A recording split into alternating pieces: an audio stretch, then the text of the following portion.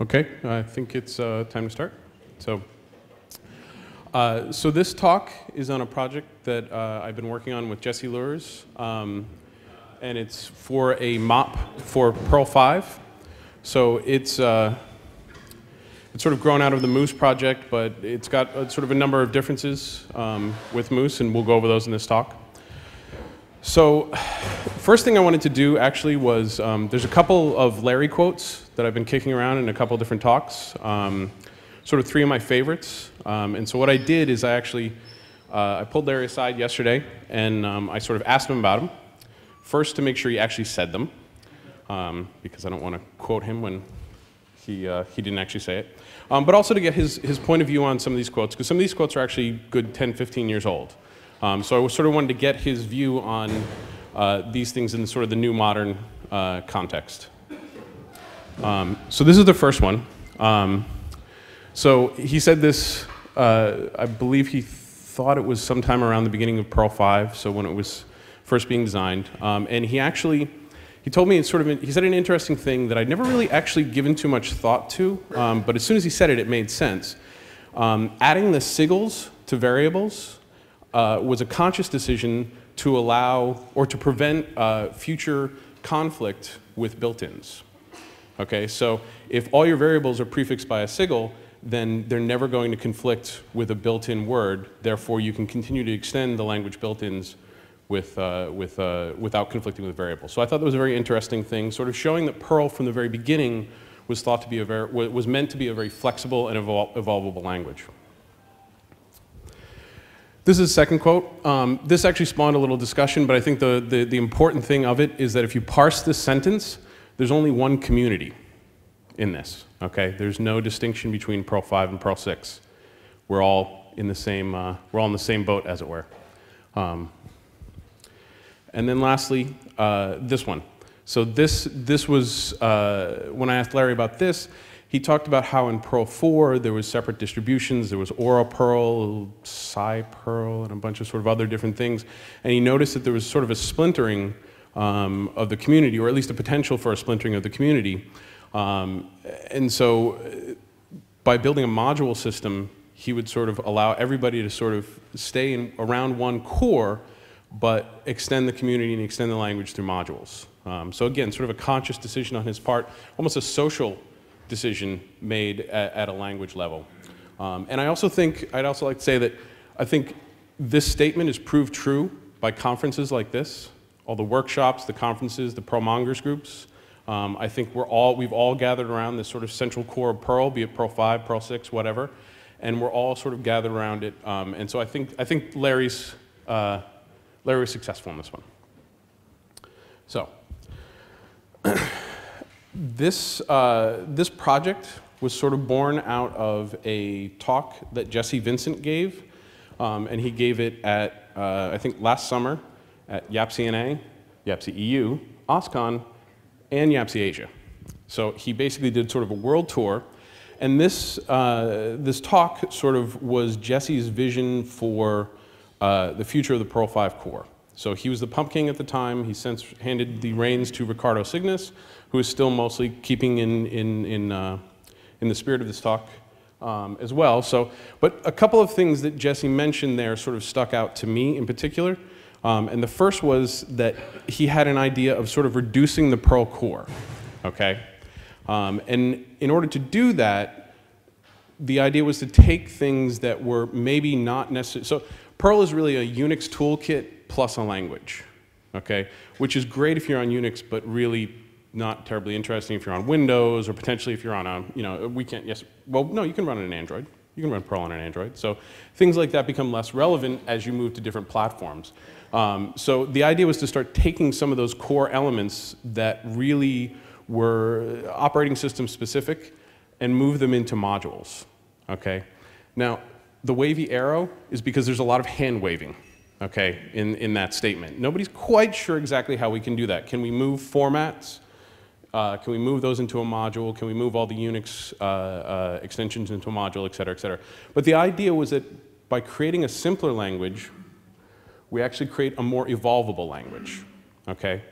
And equally as important, we also create a more maintainable language, Um, I, think, I think we counted three P5P hackers who can basically hack the entire core.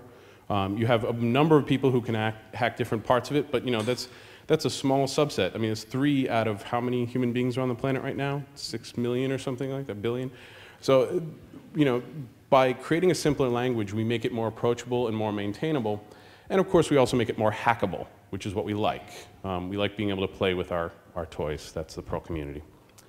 Um, so the one question that this might raise for some people is, does this mean that we're going to be losing anything in Perl?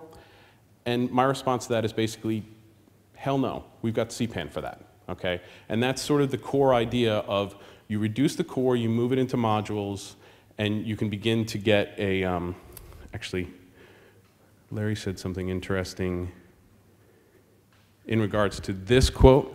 He actually said that, uh, so the, the whole breaking up the Oraperl and the Sys Perl, stuff like that, by allowing people to expand more in the modules, he actually allowed the community to be lexically scoped.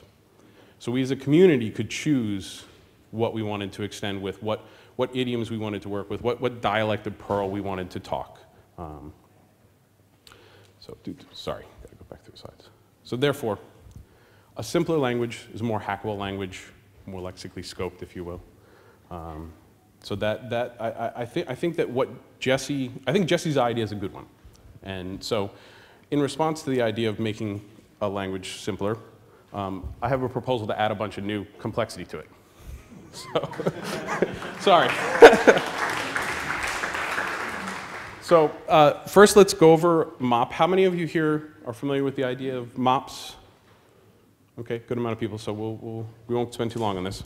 Um, so uh, a MOP is Meta Object Protocol, okay? And what it is, it's basically an API for these things, okay? And I want you to note the uppercase in each of these names, that's an important thing. Because the class of class is class. And if you don't have upper and lower case in that statement, it's kind of difficult to parse. So uh, just as you would build an abstraction around sockets or, or a database or something like that, uh, a MOP is an abstraction around these four concepts. Um, and when my mother asked me, what is that that you do all day at work? This is actually what I tell her.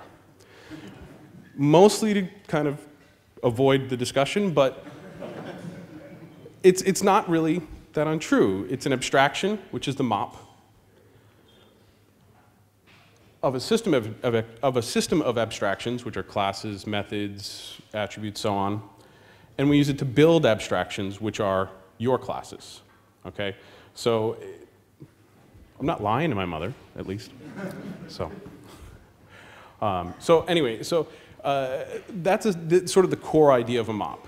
Okay, um, and this actually, we've already had a MOP. Okay, this is a MOP for all intents and purposes. This, this is a slightly awkward syntax, um, but it is feature complete. You can use this to build a full object system on top of Perl. That's what we did with Moose. Okay? So eh, all the possibilities and all the features and all the flexibility is inherently there already in Perl. We did, though, however, build Moose, um, and this is a diagram to represent the, uh, the, uh, the MOP itself. Um, this is basically a picture of what class MOP, which is the underlying technology that Moose runs on, what it looks like. So if you see, uh, the, one of the important things is to, these, these dotted lines mean instance of. So one of the important things here is, like I said, class is class class, lowercase class, uppercase class is an instance of uppercase class, okay?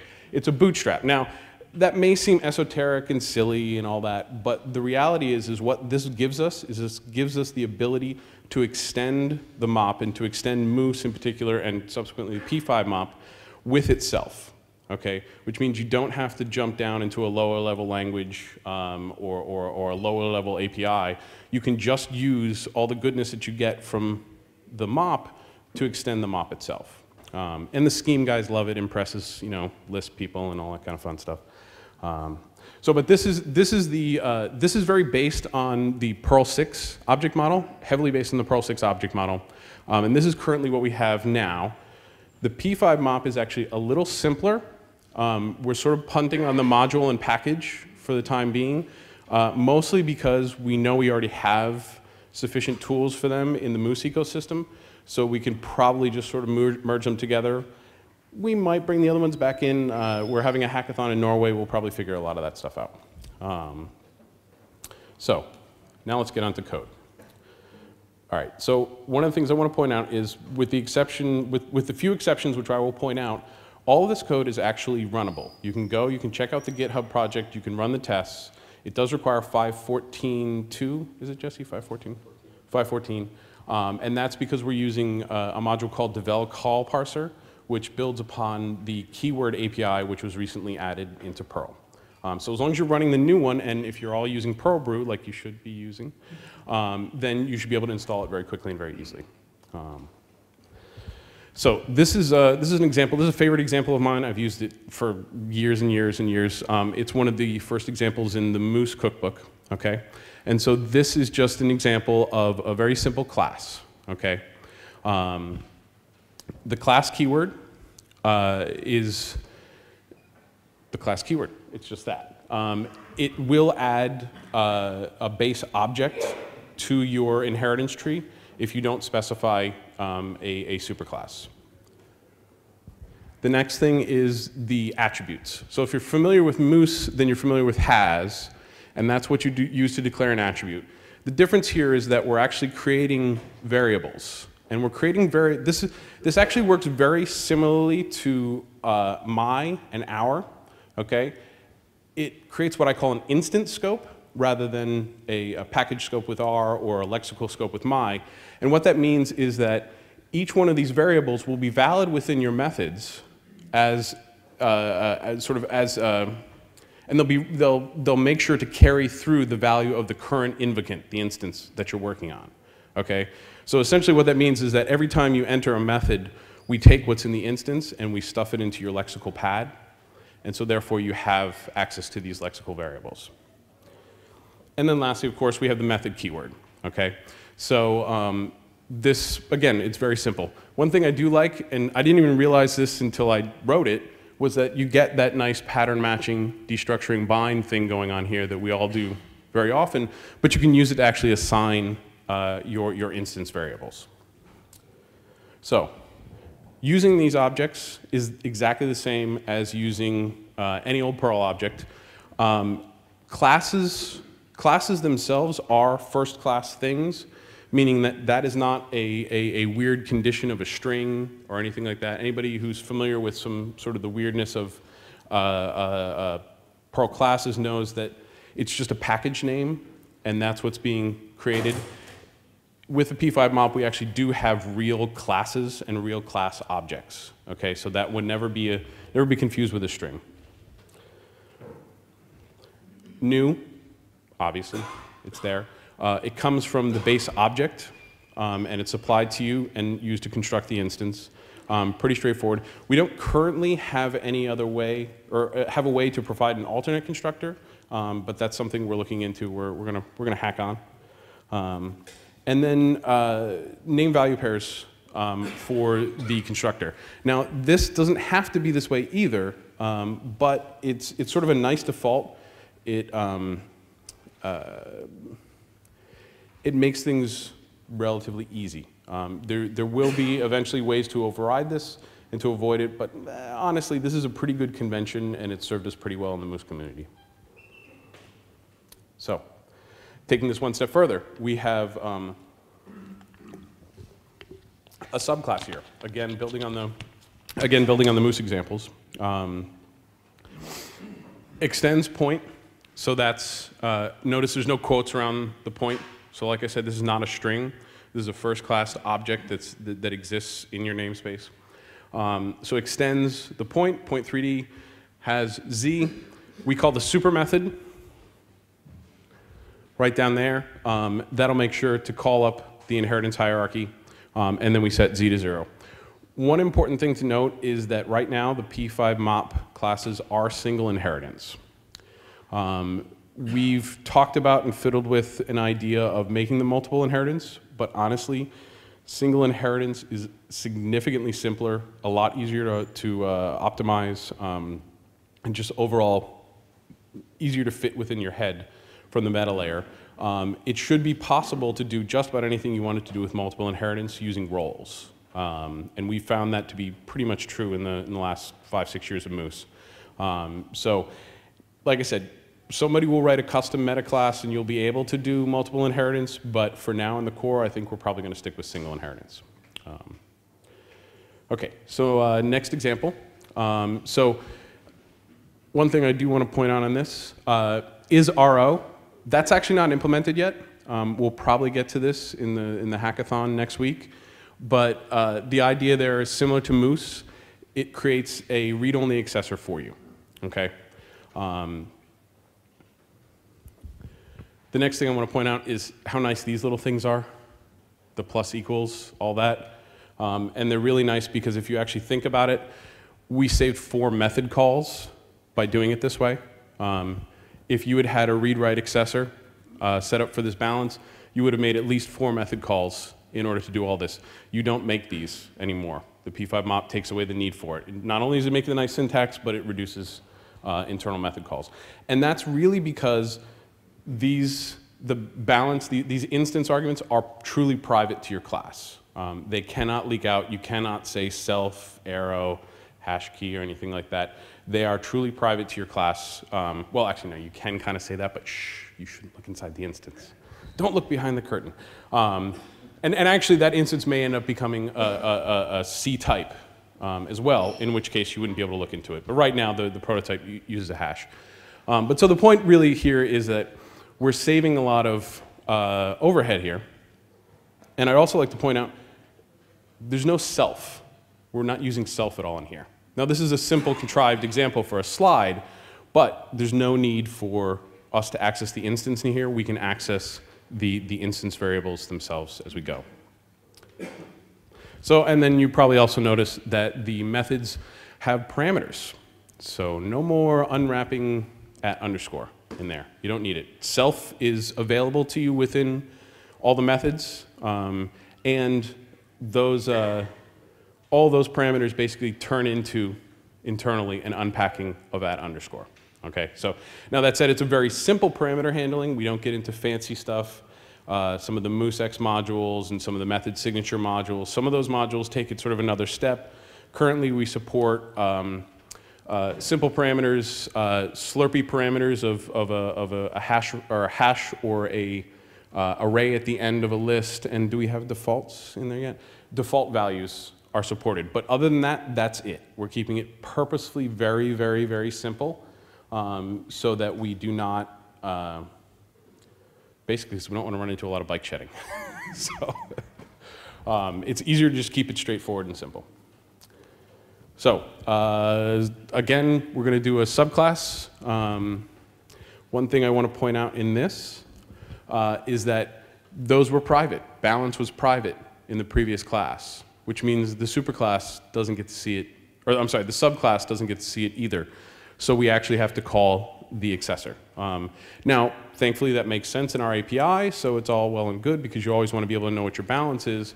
Um, but you do have to call it in, in, in the subsequent classes, or in the subclasses. Um, and then again, I wanted to point out, so this, this is a bit where we deviate from Moose. Um, you have to pass that amount onward into the super call. This actually makes it act a lot more like the super the uppercase super pseudo package that we all know, love, and hate in uh, Core Perl 5. Um, so you, but this also allows you to sort of munge arguments before you send them on to your superclass. Um, okay. So uh, another thing that we recently added, it's actually still in a branch because Jesse and I can't decide on the actual underlying implementation details yet, um, but we'll fight it out in Norway, um, is roles. So how many of you are familiar with roles in Moose? How many of you are familiar with just roles as a concept, if you're not familiar with them in Moose? Okay, good, good. All right, so I, I won't explain too many details here. Um, so a uh, couple things to point out. If you don't have a body on your method, it's required. Okay, this is actually pretty close to, I think, how, the how, how they do it in Perl 6, although I believe they, do we have Perl 6ers here? Do they have a signature that they add to it, or I don't remember. Okay. Um, so, uh, but by doing that, you're basically saying this role, uh, or any class consuming this role, is required to implement this method. And you do it simply by just not implementing the method. Um, and then in this case, uh, this is sort of a pattern of roles that's developed. Um, uh, this role is basically implemented uh, uh it's implemented by itself, basically. When the consuming class takes in this role and implements the equal to method, then boom, you get the not equal to for free. Um, so we're able to sort of do that. And that's actually, that's a pattern that's developed in Moose roles, and actually Shawn Moore is going to be giving a talk uh, later today about role usage patterns. Um, I highly recommend you go to it. It's very, very, very good. Um, so uh, here's a slightly more complex role example. Um, you'll notice that roles can themselves do other roles. So this role, uh, comparable, basically, you know, providing an interface for comparing um, a, uh, uh, something with something else, um, also does the equality role. And again, we see the required method um, in there. Roles can also just be interfaces. If you really love Java and you crave being able to write more Java in Perl, you can write a bunch of interfaces with absolutely no implementation. Um, but it's just as simple as, as doing this. And, and I joke, I love Java like everybody else. Um, it's useful. You know, it's useful to be able to say, this thing is printable. And then everybody else can rely that if this thing is printable, there is an as string method. Now, whether that as string, as string method does something sensible, that's another story, but this is Perl.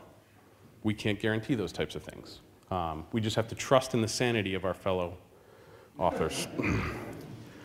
um, so now let's see how to actually use those. So you can actually, while you didn't have multiple inheritance, you do have the ability to add and combine multiple roles into your class. Okay, um, and if you have a case where multiple inheritance is actually useful, I would love to hear it. I've not, I, have seen good examples of it, but honestly, most of them can be rewritten as roles in a much saner way. Um, so I localized this slide. I probably am totally screwing up the, uh, the currency formatting there, though, I'm pretty sure. Um, I think you guys use a comma and then pluses and, or dots in weird places. Um, so uh, comparable, you'll remember, required the compare method. So we implement that here by saying amount, other amount using spaceship operator because we know we're probably working with an int here, um, or rather a float. Um, and there we go, we have that. That means from there we get all those other methods um, available to, oops, going the wrong way, sorry. It means we get all these other methods uh, for free, which means also, oh, oops. Yeah, we also get the equality. So comparable also does equality and that comes in too. So we get the equals to, we get the greater than, we get the less than. You less than or equal to. I just there wasn't room on the slide, um, but you be, you get all these other methods for it, and then we're also doing printables. So we've got the as string method there. So again, very straightforward. If you're familiar with Moose, this is very similar uh, to that. So now some of the uh, more interesting sort of edge cases here. Um, this right here misspelling. I don't know about you, but I'm a horrible speller, so I would do this all the time. But you know what? This is a compile time error now. Okay, so this is very similar to inside-out objects, Abigail. Um, inside-out objects would catch this for your compile, compile time. Moose hash-based objects, not so much. Now this will catch it. Um, additionally,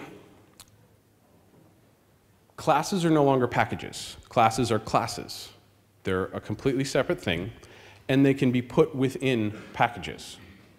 Now again, not to bring back the Java too much, but Java, C Sharp, a lot of these other languages have, these idea, have this idea of both a class and then some sort of larger container, a namespace in C Sharp, Java has packages, um, uh, Python does this in their, in their packages as well, um, although I don't know how formalized that is really.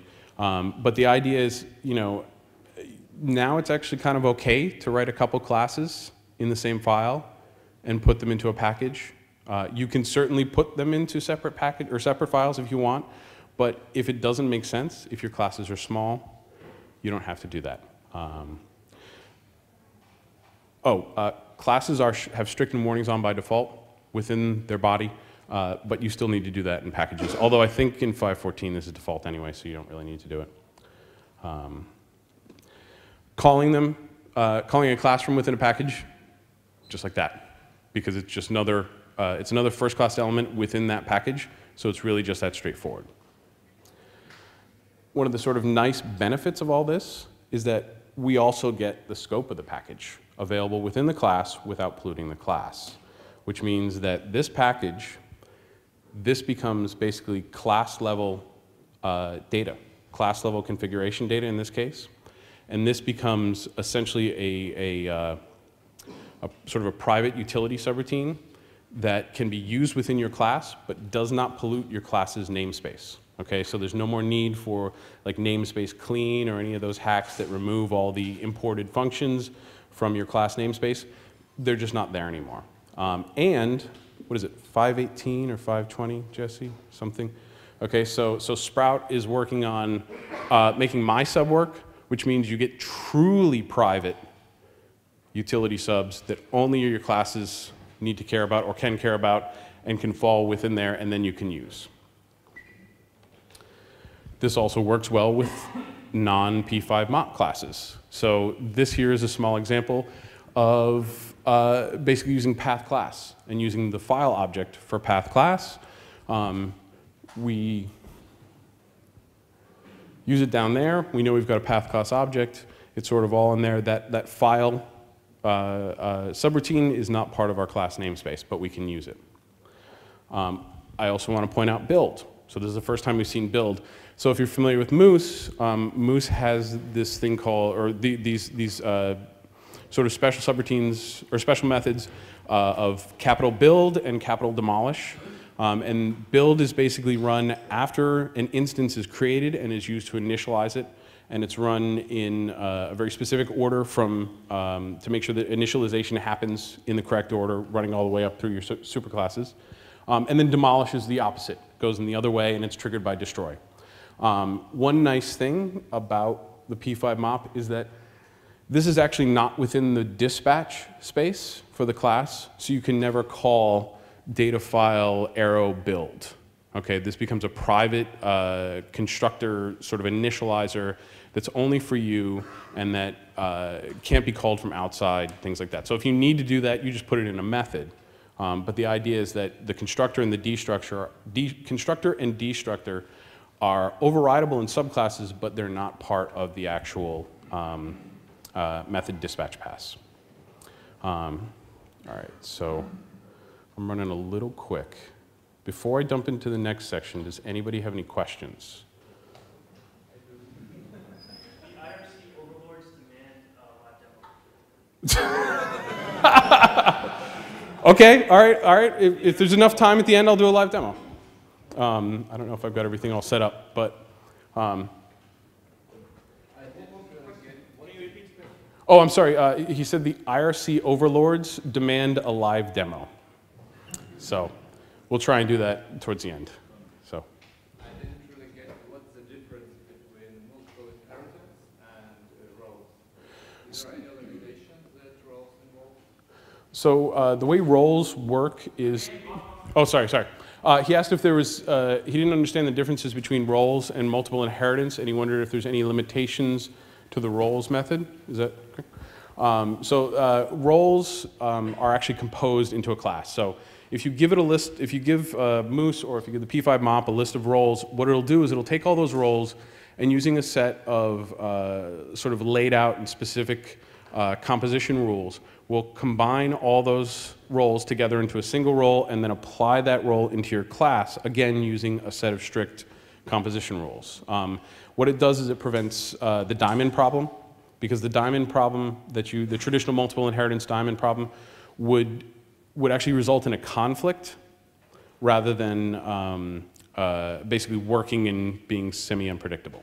Um, so it's, it's sort of stricter, but it gives you the same ability. I, I like to call it horizontal reuse So uh, with, with inheritance, you're sort of going vertical, up and down, um, super sub, sub, all that.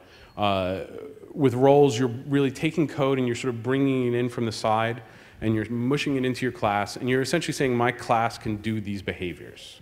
So if you think about how a lot of people use multiple inheritance and mix-ins and stuff like that, it usually comes back to adding behavior into a class rather than changing sort of the, uh, uh, the, the, the, the taxonomy is the word? No, maybe not. Um, of, of, of sort of the, the, you know, what, what you're structuring your classes as. Does it make sense? Okay, sorry. yes? Uh, uh, maybe you can discuss later, but what- what would be the possible implications of not implementing destroy? Uh, like if I wanted to use a a garbage collector that doesn't call destroy on time, for example.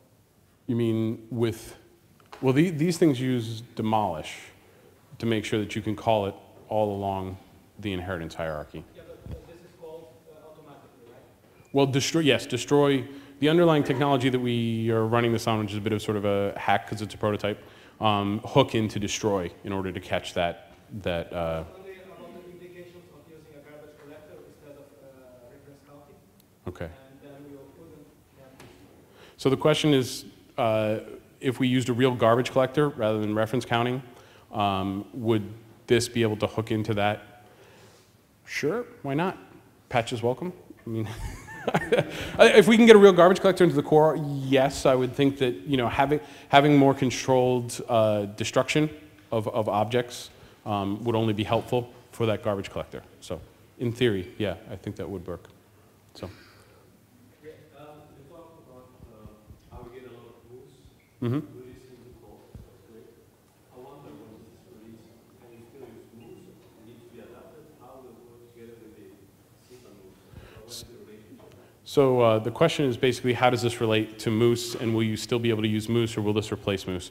Um, this won't replace Moose. Um, uh, you will still be able to use Moose. You'll still be able to use any Perl 5, uh, non-P5 MOP Perl 5 classes with P5 MOP, where that's, that was sort of a design uh, uh, goal with Moose from the very beginning to make sure non-Moose classes worked well with Moose classes.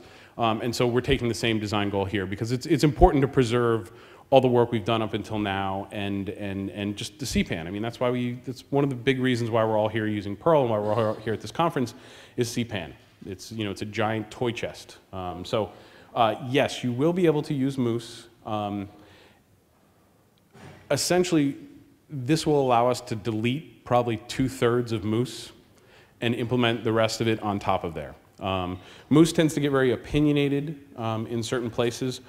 The goal here is to keep this simple enough that we're not injecting as many opinions onto people um, and onto, onto uh, uh, the way people write code. So we're hoping sort of the extensions to this, one of which will be Moose, whatever version um, on there. And then the idea too is that if we get a lot of the other accessor builders to use this and we're all using the same core, uh, there'll be a lot more interoperability between, you know, uh, Mojo base that's written with this, or class accessor that's written with this, and a, and a Moose that's written with this, and so on and so forth. So we'll all be able to sort of uh, play well, play, play more easily together, the different frameworks. Um, just back to the, um, like the compare overall, just had a question about syntax. That was the last one. Yes. Uh, yeah, you need to call info through dollar seven. Can't just call compare. Yeah, you mean methods don't require invocants? Is that what you're asking? Yes. So he's asking if, if he just wanted to clarify that um, methods require an invocant. Yes. Um, honestly, I hate that about Java. I hate that methods look like function calls within that class. I find that very distasteful. And then all the Java programmers that ever see my code find the this dot that I put in front of everything very distasteful. So um, I like the invocant, but you didn't have to shift it off. So that's, that's one, one benefit there. So can't fix everything. When, when I saw the super, I wondered if the other methods of the superclass also available uh, from, for the method? Or? Uh, we don't have a way Yes, I mean, it- they're already there for you in, in the dispatch uh, path, but uh, we don't have a way to, like, like, like you can do now where you say uh, uppercase super, double colon, and then any arbitrary method to skip out of inheritance. No, we don't have a way to do that. I mean, you could do it through the mop if you really wanted to, but no, we don't provide a support for that. Thank you. Uh, I noticed you haven't really mentioned lazy loading or default. Is that, Yes, so uh, the question is, there's no, nobody, he, he has not seen lazy or default or anything like that. Uh, You mean specifically sort of from Moose? yeah. Yeah. Um, Again, those are kind of opinionated. Um, There will be a way to add those into here, just as um, uh, the accessors, uh, yeah, the, the sort of the is read write, like I said, that's not there. We've debated several times whether that should be a core feature or not. I think it probably should be a core feature. I think everybody's going to expect it. Um, the reality is you need accessors less because uh, you know you're, you don't have to call methods within your classes within um, yeah within the scope of your classes. So you sort of need them less, but it's probably going to be there. Uh, everything else will just sort of get either added on through an extension um, uh, or something like that. But we, we want to sort of avoid being too tricky and too opinionated in this, so that other people can build their stuff on top of it. So Please continue. okay. Be break time. Oh, sorry, sorry, sorry, sorry. Um, okay, so um, yeah, so uh, before I jump into the next slide, um, I want to show this. So um, uh, I peer pressured Jesse Luehrs into doing this um, in the last couple days so that I could show this and potentially do a live demo. Um, this is basically, uh, so the same parameter parsing syntax that, that we have for methods, we just sort of swapped it over to also work with functions. Um, again, really, really, really simple. Not trying to get into fights, not trying to get into sort of bike shedding arguments on this. I just want signatures. That's it. Um, so uh, this is just sort of a nice example using nice given when syntax. Woohoo! All our functional programming friends can be jealous now. Um, it also does, I mentioned before, the slurpy. So uh, we've got two scalars and an array. This works basically, all you have to do is think about taking that, moving it down one line, putting a my in front of it, and putting an equal at underscore after it. If, as long as you think of it to work just like that, that's exactly how it will work. Okay? Simple, simple, simple, simple. Um, yes?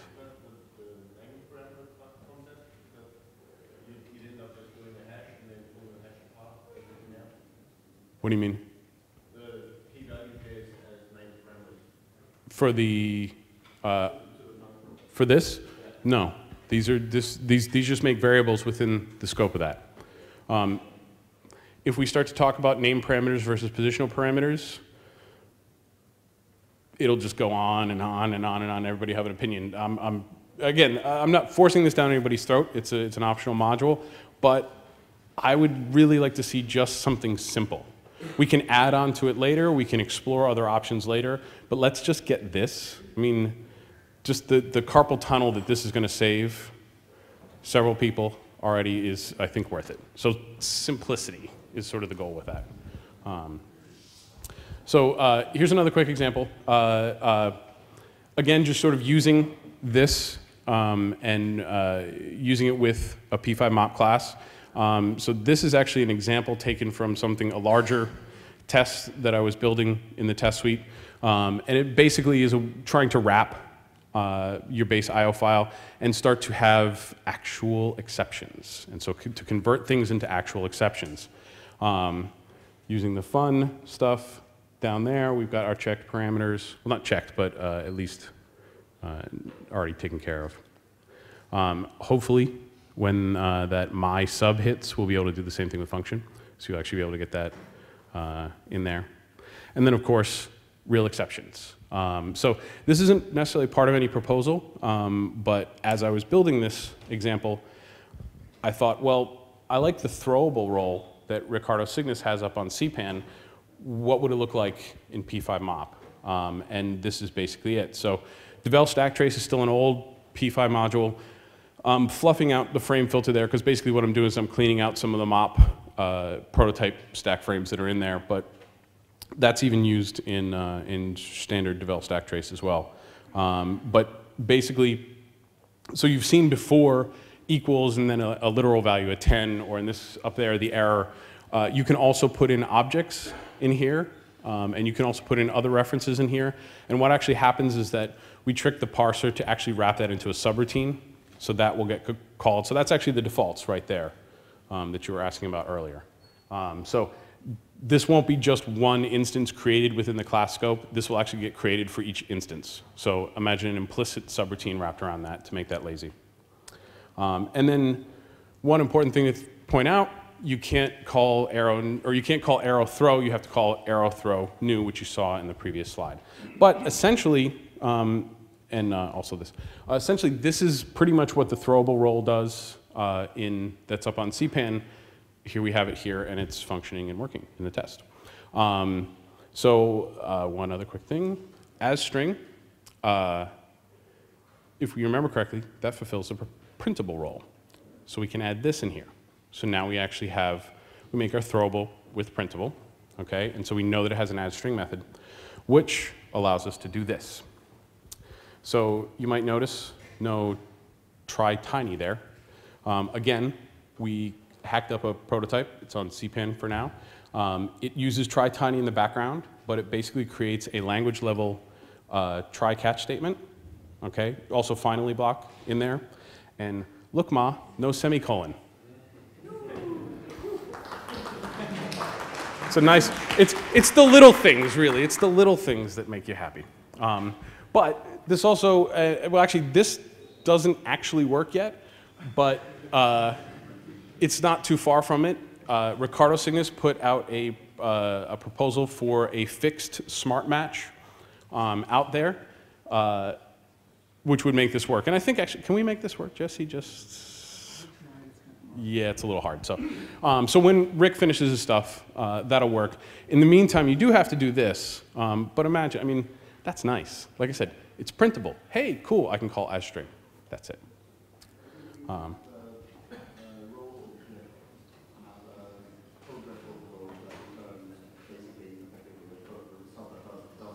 yeah, I mean, you'd have to play with the way Smart Match works, and right now it's kind of insane. So.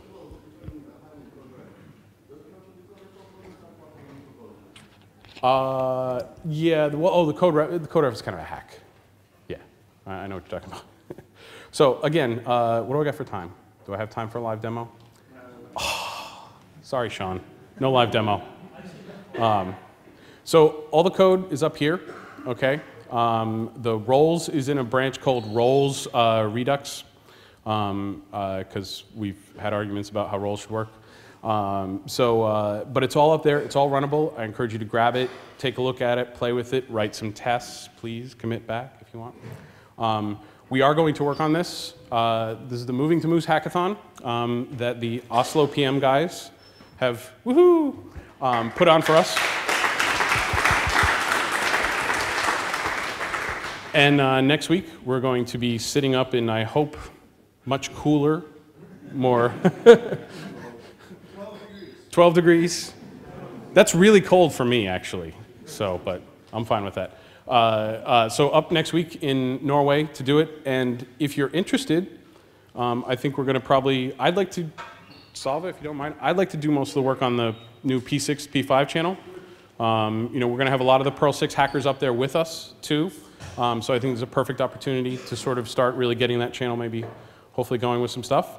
Um, so if you're interested in playing with this, hacking, or even just being part of the discussion uh, up there in Norway, please go to this channel and blank slide. That's it.